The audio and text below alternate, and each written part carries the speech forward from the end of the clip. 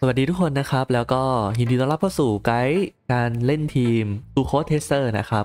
ทีมนี้ก็จะมีตัวของซูโครสมีเป่ยโต่วฟิชแล้วก็ซิงชิวเป็นองค์ประกอบหลักของทีม ซึ่งจุดเด่นของทีมนี้ก็คือเป็นทีมที่มี damage เยอะมากนะครับ ทั้ง damage เดี่ยวจากซิงชิวจากฟิชแล้วก็ damage วงจากเป่ยโต่วแล้วก็ซูโครสรวมถึงซูโครสเองก็มีความสามารถในการรวบด้วย นะครับเพราะฉะนั้นทีมนี้ได้ทั้งในส่วนของการเคลียร์มอนหมู่มอนเดี่ยว damage เยอะมากๆ ถ้าถามว่าเป็นทีมระดับ top tier ไหมก็ไม่ขนาดนั้นยังไงทีมนี้มันก็เป็นทีมสี่ดาวล้วนนะครับแต่ว่าก็จัดว่าเป็นทีมที่ค่อนข้างเก่งทีมหนึ่งตอนนี้ข้อเสียของทีมนี้ก็คือเป็นทีมที่ไม่มีตัว heal แท้ๆนะครับตัวที่ heal ในทีมได้ก็จะมีแค่ซิงชิวตัวเดียว แต่ว่ามันก็ heal ได้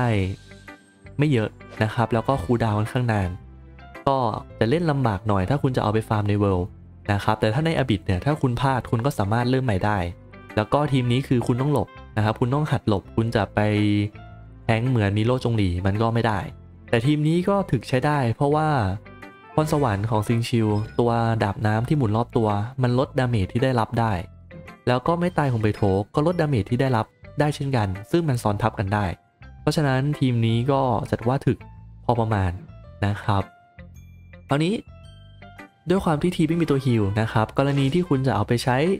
ใน Abyss ชั้น 11 ที่มันมีกัดกร่อนในปัจจุบันเนี่ย คุณอาจจะเปลี่ยนตัวของซูโครสไปเป็นตัว heal อย่างเช่นตัวบาบาร่าชีชีจีนโนเอลอะไรพวกนั้นก็ได้นะครับ หรือคุณอาจจะเปลี่ยนตัวของเป่ยโต่วหรือตัวของซิงชิวเนี่ยไปเป็นตัวของเบนเนตต์เอามา heal แล้วก็ buff แทนก็โอเคเช่นกัน แต่ว่าถ้าคุณจะเล่นเป่ยโต่วเนี่ยผมไม่แนะนำให้คุณเอาฟิชออก เพราะว่าฟิชนอกจากจะเป็น damage แล้วยังเป็นแบตเตอรี่ฟื้นไม้ตายให้เป่ยโต่วด้วยนะครับ ถ้าจะเล่นเป่ยโต่วควรมีฟิชในทีม ก็อันนี้คือองค์ประกอบของทีมโดยหลักๆ ซึ่งคุณก็สามารถเอาไปปรับเปลี่ยนได้นะครับ เดี๋ยวมาลงรายละเอียดตัวละครกัน ตัวของซูโครสนะครับ อาวุธก็แนะนำอันดับหนึ่งจริงๆเนี่ยเป็นตัวของ Sacrificial ที่ให้ชำนาญธาตุเยอะ แล้วก็ reset skill ได้ช่วยทำให้ซูโครสใช้ไม้ตายได้บ่อยขึ้นด้วย นะครับ แต่ผมมีแต่ผมไม่ได้อัพ ผมก็ใช้เป็น Mappa ไปก่อน ได้ชำนาญธาตุเหมือนกัน ก็พอโอเค artifact ก็ตัวของเซตเนี่ย จริง ๆ มีเซตเดียวเลยที่คุณจะใช้ในทีมนี้ได้คือสี่ลม เพราะว่านอกจากมันเพิ่ม damage การกระจายแล้ว มันลดต้านทานธาตุของศัตรู คือถ้าคุณแปะธาตุน้ำแล้วก็แปะไฟฟ้าให้ศัตรูไปเนี่ย คุณใช้ skill ธาตุลมไป มันก็สามารถลดต้านทานทั้งน้ำทั้งไฟฟ้าได้นะครับ เพราะฉะนั้นซูโครสจริง ๆ คือเราเอามาเพื่อลดต้านทานธาตุ แล้วก็เพิ่ม damage ให้กับตัวละครอื่นในทีมเป็นหลักนะครับ เพราะฉะนั้นไม่มีเซตไหนแทนเซตนี้ได้นะครับ ถ้าคุณเป็นมือใหม่เพิ่งเล่นจริง ๆ คุณอาจจะใช้เป็นพวกอย่าง Wanderer ที่ให้ชำนาญธาตุแทนไปก่อน แต่บอกเลยว่ามันสู้สีลมไม่ได้ สีลมยังไงก็เทพกว่าเยอะนะครับ แล้วก็สำหรับตัวนาฬิกาคุณจะใช้เป็นฟื้นพลังงานเพื่อกดไม่ตายบ่อย หรือจะใช้เป็นชำนาญธาตุเพื่อให้สกิลแรงขึ้น กระจายแรงขึ้น ก็ดีคนละแบบแล้วแต่ว่าต้องการอะไร นะครับถ้วยก็แนะนำเป็นชำนาญธาตุถ้าไม่มีจริงๆอาจจะใช้เป็นโจมตีหรือโบนัสลมไปก่อน แต่ยังไงชำนาญธาตุก็ดีสุด แล้วก็หมวกผมว่าแนะนำเป็นชำนาญธาตุเช่นกัน แต่พอดีว่าผมยังไม่มีหมวกเซตลมที่ให้ชำนาญธาตุก็เลยใช้อัตราคีแทนไปนะครับตัวกลุ่มดาวผมมีเต็ม แต่ว่าทีมนี้คุณไม่ต้องมีกลุ่มดาวคุณก็เล่นได้นะครับ แล้วก็พรสวรรค์ที่เน็ตอัพผมแนะนำเป็นไม้ตาย ตามด้วย CQE แล้วค่อยโจมตีธรรมดา แต่จริงๆ แล้วซูโคสเล่นกระจายเนี่ย คุณไม่ต้องซีเรียสเรื่องพรสวรรค์มากก็ได้ เพราะว่า damage การกระจายมันแรงตามชำนาญธาตุกับต้านทานธาตุของศัตรูมันไม่ได้คิดจาก skill พรสวรรค์ไม่ได้คิดจากเลเวลพรสวรรค์นะครับเพราะฉะนั้นก็ไม่ต้องซีเรียสส่วนตัวผมเป่ยโต่วนะครับอาวุธถ้าคุณมี 5 ดาวคุณก็ใช้ Wolf ก็ได้ อันนี้จริงๆก็ถือว่าดีที่สุดเลย นะครับหรือจะเป็น Skyward Pride เอามาช่วยฟื้นพลังงานก็แล้วแต่ แต่ในวิดีโอนี้ผมจะใช้เป็น Serpent ที่เป็น 4 ดาวเป็นเบ t เทิลพาร์นะครับซึ่งถึงผมจะมีเบ t เทิลพาร์ขัดสีก็จริง แต่ว่าความสามารถตรงนี้ผมไม่ได้ใช้นะครับผมไม่ได้เสียเวลามาเก็บ stack ใน Abyss นะถ้าใน world คุณก็ร้อยมันเต็มก่อนแล้วคุณก็ใช้ประโยชน์จากมันได้ แต่ในวิดีโอนี้ผมไม่ได้ใช้ประโยชน์จากมัน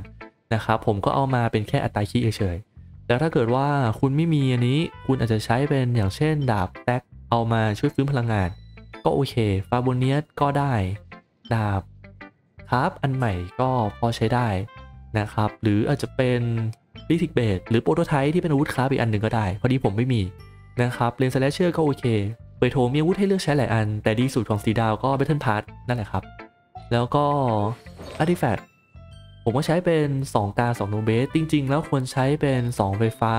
2 Noblesse นะครับ ตัว Fury แต่พอดีว่า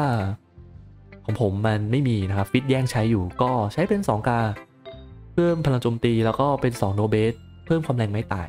นะครับเพราะว่า damage เป่ยโต่วหลักๆ มาจากไม้ตาย นาฬิกาผมใช้เป็นฟื้นพลังงาน แล้วก็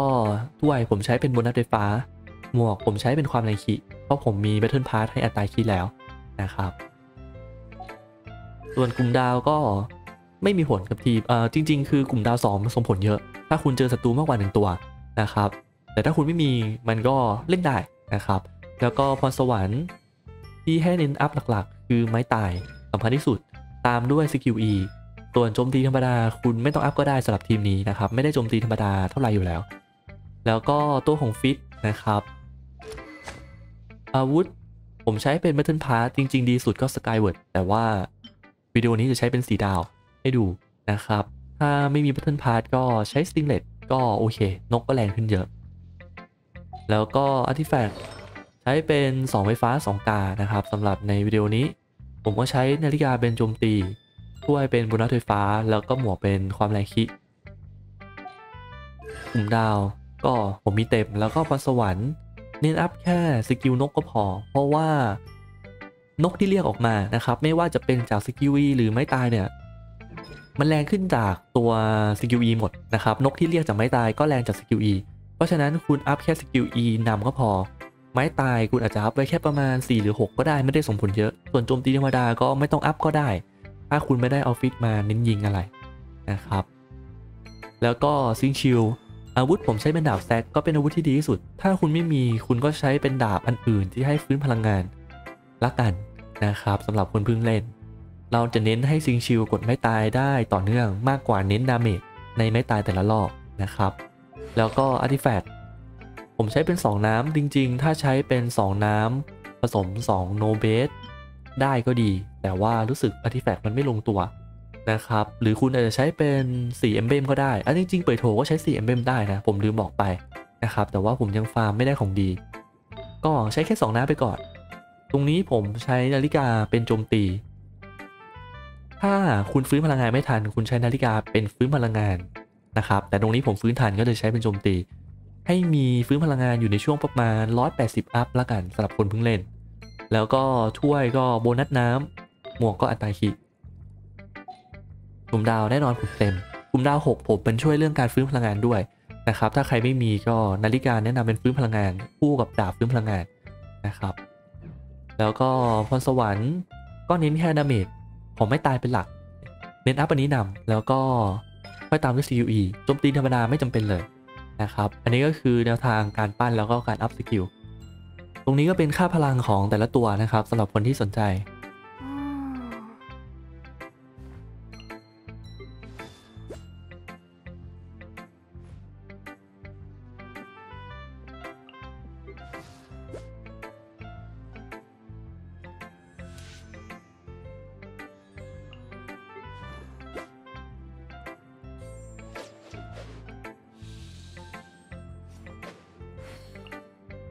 ก่อนจะดู showcase นะครับ ขอขอบคุณสปอนเซอร์ก่อนนะ นั่นก็คือร้าน PowerPay นะครับ ร้านรับเติมเกมที่เปิดมานาน ประหยัดปลอดภัยแล้วก็เครดิตดีนะครับ ผมเติมมาตลอด ไม่เคยมีปัญหาเรื่องแฮกเรื่อง refund แล้วก็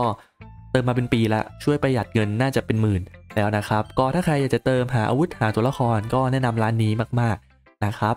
คราวนี้มาดูพวกวิธีการเล่นกับ showcase กัน จริง ๆ แล้ววิธีการเล่นของทีมนี้มันเป็นอะไรที่ง่ายมาก คือคุณกดสกิลฟิตเรียกนกก่อน แล้วก็สลับมา Beidou กด E กดไม้ตาย มา Xingqiu กดสกิลกดไม้ตายให้เสร็จเรียบร้อย จากนั้นคุณก็สลับไปที่ Sucrose แล้วก็ให้ Sucrose เนี่ยเป็นเหมือนตัวชี้เป้านะครับโจมตีธรรมดาใส่ศัตรูแล้วก็ปล่อยดาบน้ำกับตัวไฟฟ้าใส่ศัตรูเรื่อยๆ แค่นั้นเองแล้วก็มีจังหวะก็กดสกิลเพื่อรวบศัตรูนะครับกดไม้ตายรวบศัตรูบ้าง แล้วก็ถ้าเห็นจังหวะศัตรูจะโจมตีมา คุณก็เอา Beidouมากดเคาน์เตอร์ เพื่อทำ damage อย่างรุนแรง แล้วก็สร้างอนุธาตุ ด้วยก็ได้นะครับ วิธีการเล่นมัน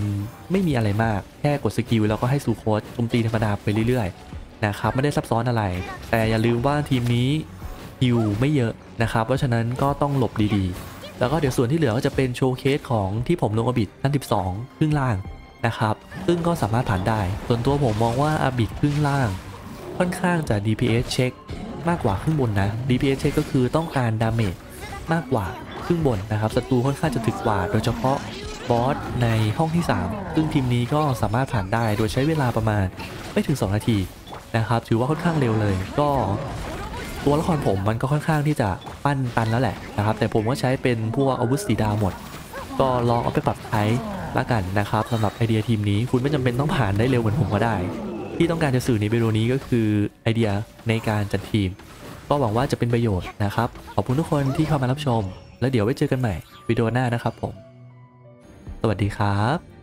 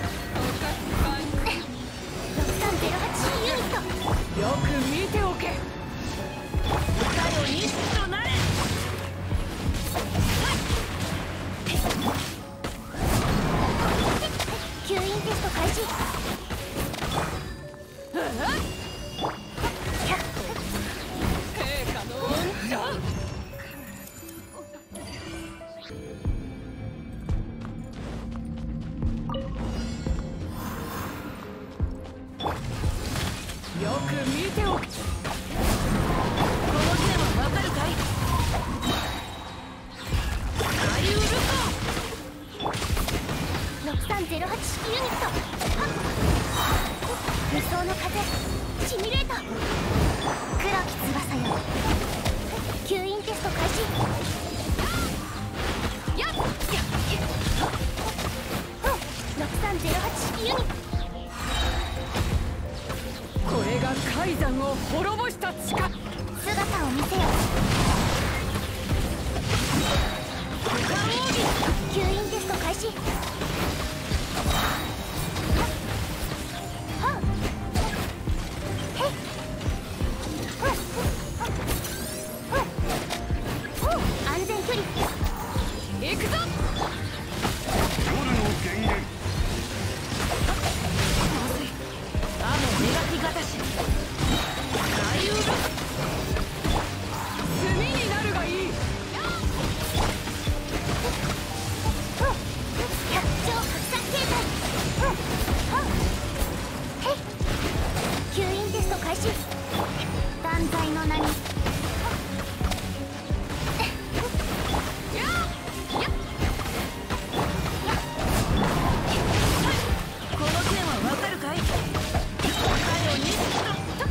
見ておけ。影